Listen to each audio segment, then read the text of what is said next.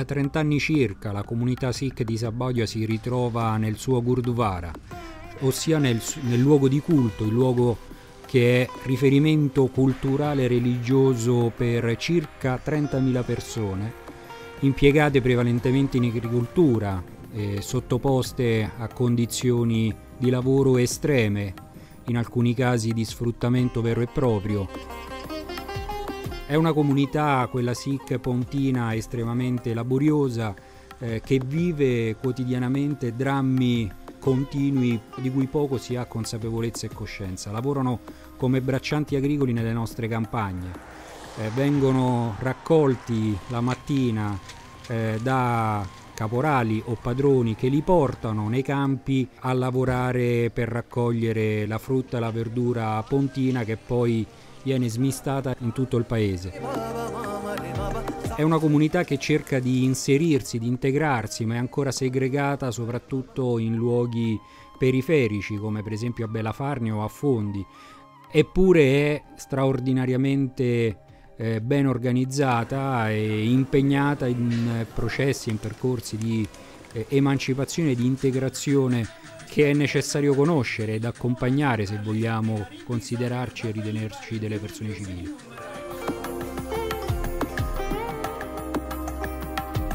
Siamo ormai anche giunti alle seconde generazioni, cioè a dire si sono formate le famiglie, sono state fatte arrivare le mogli e sono nati i bambini che frequentano le nostre scuole, che frequentano i luoghi tradizionalmente frequentati anche dagli italiani. Ora, nascondere questo fenomeno significa sostanzialmente nascondere una evoluzione importante della nostra società.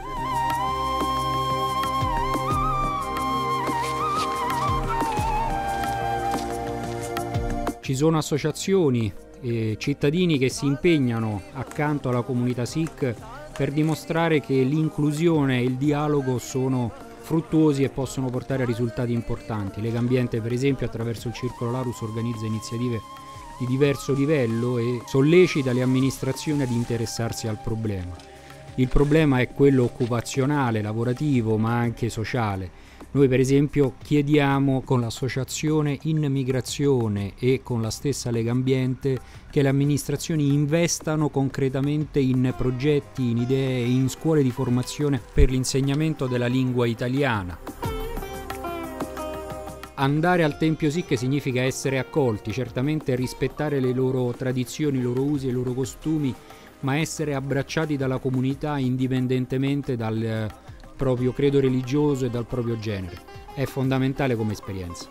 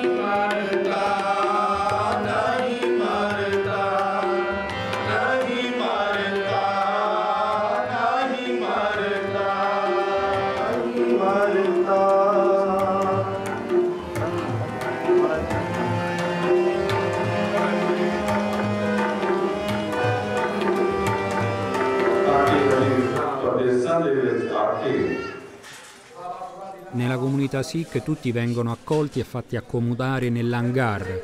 Sostanzialmente la comunità si prende cura di te cucinandoti i loro cibi tradizionali ed è questo il sistema attraverso il quale loro hanno rotto il sistema di caste indiano, induista. Uomini e donne cucinano insieme ed insieme ti offrono il loro cibo. Buongiorno, sono Singh Hardip io sto qua in Italia per cercando lavoro. Sono qua lavorando fioristo. Lavoro in un'azienda dei fiori. Questa è la nostra chiesa dove stanno mangiando tutti. Vengono qua, non è solo indiani, tutti quelli vengono qua e prima vanno dentro chiesa, pregano, dopo entrano qua e mangiano. Mangiano e berano. Berano tè e qualcosa come succo di frutta e acqua, tutto quanto, senza soldi, non ne devo pagare, tutto gratis.